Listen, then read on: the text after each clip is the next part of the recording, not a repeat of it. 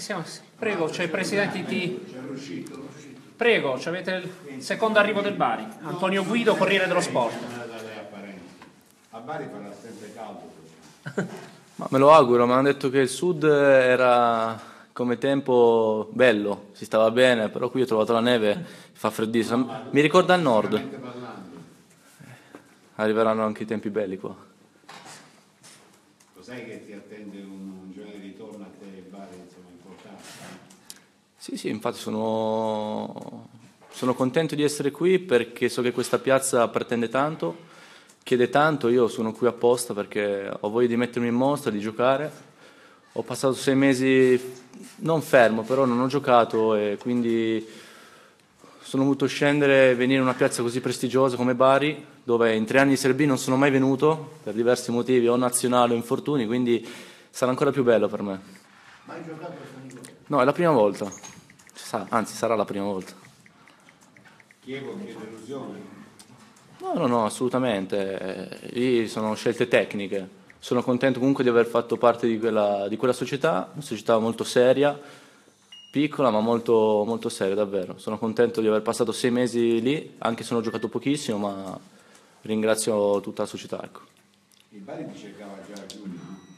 Sì, ho avuto la richiesta di Bari anche in estate, però ho, prov- ho provato a stare in Serie A. Secondo me, dopo questi sei mesi che non ho giocato, ho capito che forse dovevo passare un altro step da- dalla Serie B e quindi ho, ho accettato di venire a Bari a, a gennaio. Che cosa ti ha convinto ad accettare Bari? Ma mi ha accettato diciamo, la piazza, una piazza ambiziosa, con tanti tifosi che, come ho detto prima, pretendono tanto. Io ho sempre cercato piazze così. Sono stato due anni a Perugia con un tifo bellissimo, penso uno più bello della Serie B, insieme anche a Bari e tante altre. Quindi eh, non ho esitato a- ad accettare subito. Eh? Cioè, perché non sei riuscito a ritagliarti uno spazio, secondo te? Ma ehm, non lo so, forse anche ero condizionato dal modulo perché non sono proprio una, una seconda punta o una punta, ecco.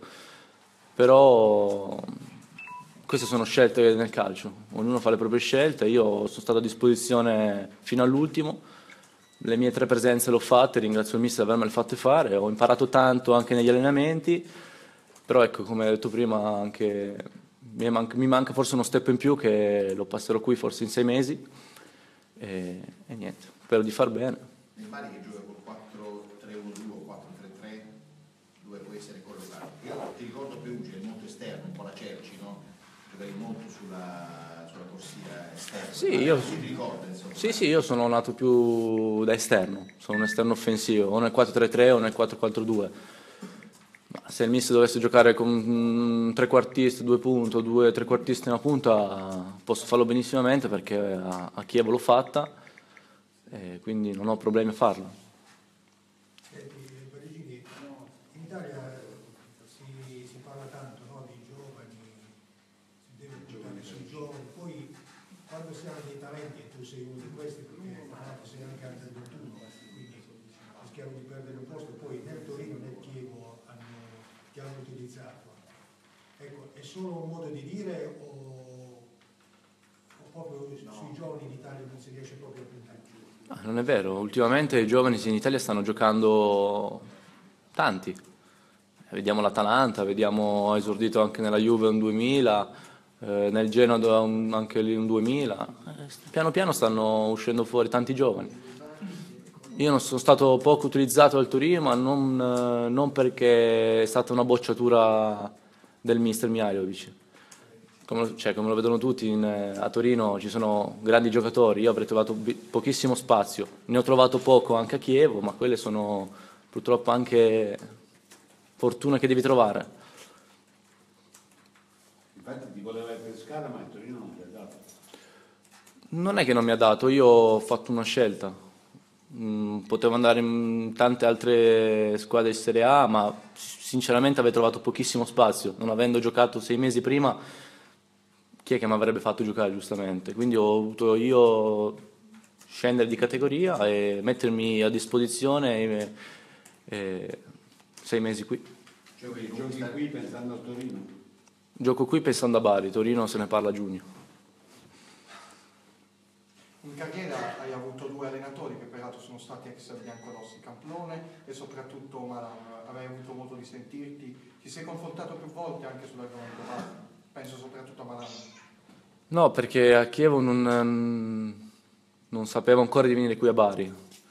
È stato deciso tutto all'ultimo quando io avevo già lasciato Chievo da un giorno, quindi purtroppo non ho parlato con Maran di Bari. Mi ha chiamato Camplone perché mi voleva a Cesena e quando ho accettato Bari mi ha chiamato e mi ha detto che è una piazza importante, che è farà il caso mio perché posso esaltare le mie qualità qua. Quindi ringrazio anche Camplone per le belle parole che ha fatto su di me che in qualche intervista e niente. Senti, ti rituffi lì, che campionato trovi?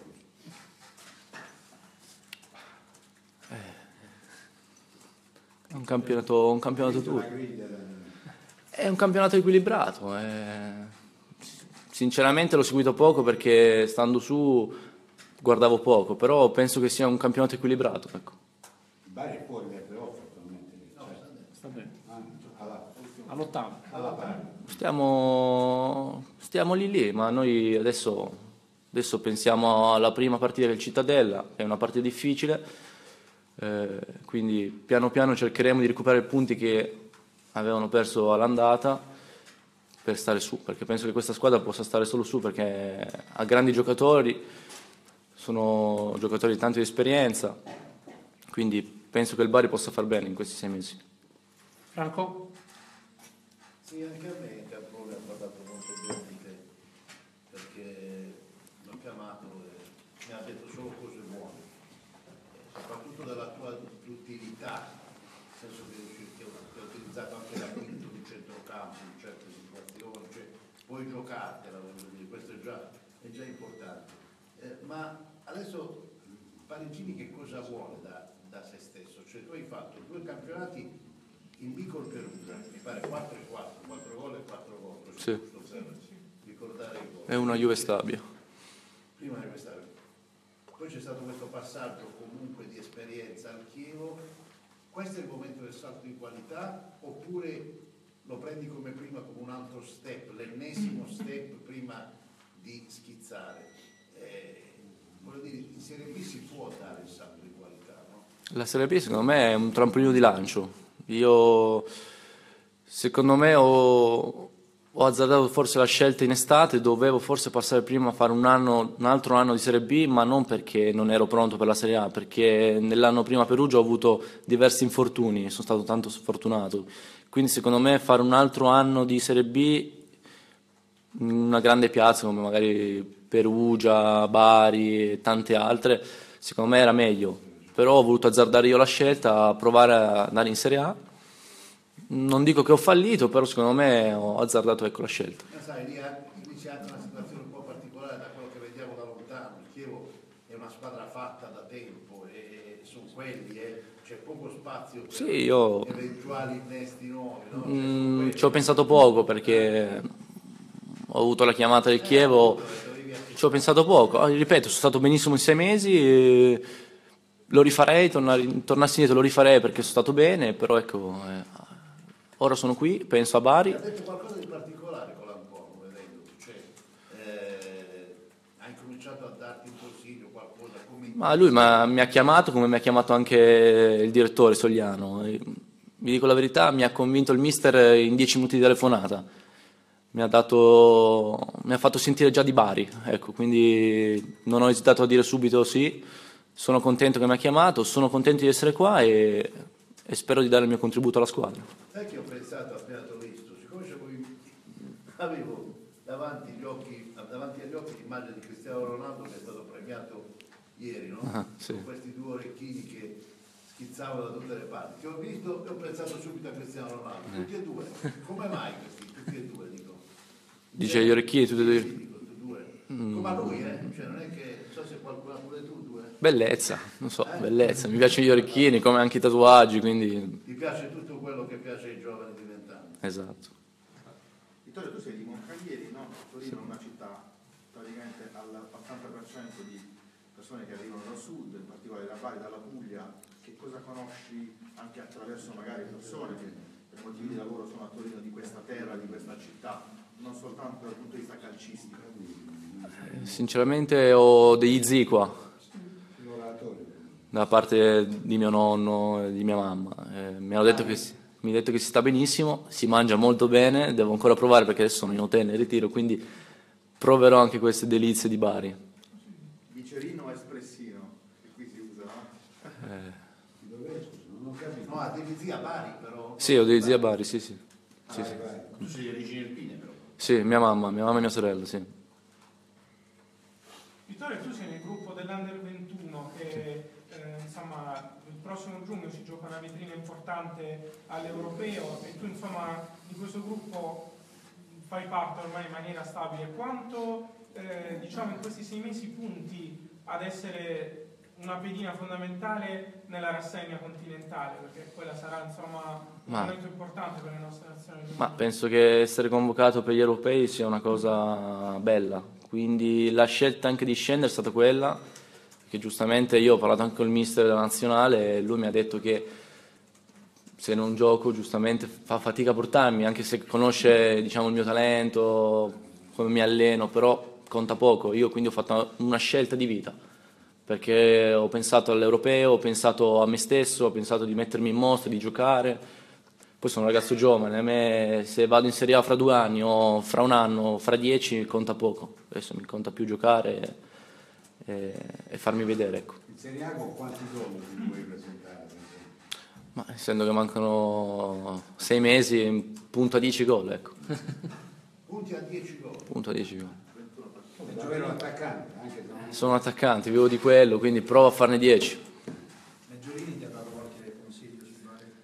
No, ripeto, nessuno sapeva della mia scelta di Bari, io ero- avevo tante altre squadre, quindi chi diceva Benevento, chi diceva Bari, chi Cesena, Atalanta, così Pescara, quindi io fino all'ultimo non ho detto niente per, per scaramanzia, ecco. Poi Di Biagio comunque ha continuato a chiamarti sempre, Chi? sia quando Di Biagio dall'Under 21, sia quando giocavi poco, sia quando hai avuto qualche infortunio, cioè Sì, sì, un- ma io ringrazio il mister Di Biagio perché mi ha sempre convocato, nonostante giocavo poco, gli infortuni, non stavo in condizioni, quindi un grazie va anche a lui, quindi quello sicuramente sarà fatto. Cioè, nella tua breve storia calcistica qual è un passaggio chiaro, una cosa che va evidenziata, diciamo, un personaggio che ti, ti ha aiutato molto, qualcosa, diciamo, per capire chi è Parigini, da dove viene. Ma un personaggio, posso evidenziare le due annate a Perugia, che sono stati i miei trampolini di lancio. Sicuramente quello lo devo, lo devo a Perugia, lo devo ai compagni, a, a uno in particolare è Taddei, che mi ha sempre dato consigli, mi è sempre stato vicino, poi ci sono stati tanti altri. eh. Però Taddei, essendo che ce l'avevo vicino di posto, era sempre lì a darmi un consiglio, una mano, quindi lo devo anche a lui grazie. Tu invece un punto di riferimento, magari al di là poi diciamo, di chi ti ha dato una mano, proprio come modello a cui tu ti ispiri, a cui guardi per la tua crescita calcistica, Ma non so se avete visto tante mie interviste, non, non è che mi ispiro a, a uno in particolare. Guardo il calcio, ma non, non ho uno in particolare, ecco. Sono sincero. Sì, mi ispiro a Chi Parigini. eh. Banale, Cristiano Ronaldo, ma è irraggiungibile, ecco. Però non ha tatuaggi, eh. Non ha tatuaggi. Lui non ha tatuaggi. Messi ha tatuaggi di Cristiano Ronaldo. qualcosa meno di te. Eh. Altre domande? Vai. Eh, ma quando eh, sei tornato a Torino, speravi in qualche modo, oppure che potessi essere utilizzato da Mianic, oppure ti avevano già detto che ti avrebbero mandato? No, io sono stato chiamato da Mihailovic un mese prima del ritiro. Mi aveva detto che facevo parte del ritiro e poi stava a me dimostrare di star lì. Sinceramente, mh, non è che mi ha detto non sei pronto, sono stato io ad andare via perché vedendo anche la, la concorrenza che era davanti era tanta. Poi sinceramente non stavo ancora benissimo a livello fisico perché stavo ancora rientrando dall'infortunio che ho avuto a gennaio dell'anno scorso. Quindi non la prendo come bocciatura, anzi ringrazio Mihailovic che mi ha chiamato per il ritiro e spero di tornare a giugno. Dottore, scusami, invece non è una domanda tendenziosa, le tue condizioni fisiche ci sono perfette, ottimali, perché qui a Bari insomma non non va benissimo. No, no, ora sono al 100%. Ok. Mi manca minutaggio nelle gambe, quello si sa, però non è un problema. Problemi muscolari, fisici, zero. La sensazione che si ha, andando un po' oltre le parole, è che Antonio ti mette una volta in panchina ti mangi la panchina. Nel senso che hai tale rabbia e tale, tale voglia di giocare che non prendi nemmeno in esame la possibilità di star fuori. Cioè tu sei venuto per tornare ad essere protagonista. Io sono tornato ad essere protagonista, protagonista, ma se dovessi mai andare in panchina uno o due partite, sinceramente non, eh, non crei problemi. Sì, mi dispiacerebbe perché ho la voglia di giocare, ma se mi, se mi fa entrare 5 minuti darò per 5 minuti quello che ho. Sono qua per aiutare la squadra, non eh, per essere... Una grande carica, una rabbia. Sì, sì, sì, quelle sicuramente. In sei mesi ne ho, ne ho tanta di rabbia.